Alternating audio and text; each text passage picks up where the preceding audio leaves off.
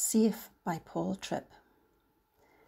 I am safe not because I have no trouble or because I never experience danger. I am safe not because people affirm me or my plans always work out. I am safe not because I am immune from a disease or free of the potential for poverty. I am safe not because I'm protected from disappointment or separated from this fallen world. I am safe not because I'm wise or strong. I am safe not because I deserve comfort or have earned my ease.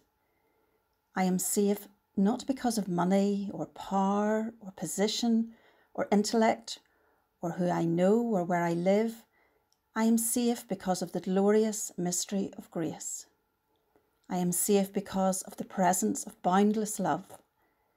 I am safe because of divine mercy, divine wisdom, divine power, and divine grace. I am safe not because I never face danger, but because you are with me in it. You have not given me a ticket out of danger. You have not promised me a life of ease. You have chosen to place me in a fallen world. I am safe because you have given me the one thing that is the only thing that will ever keep me safe. You have given me you.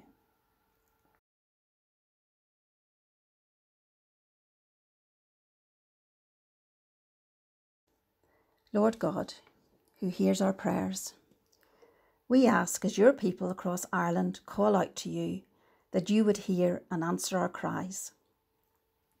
Forgive us for our prayerlessness how too often we thought ourselves too busy to pray, able to manage on our own, in no need of you as our lives trundled on through their well worn routines.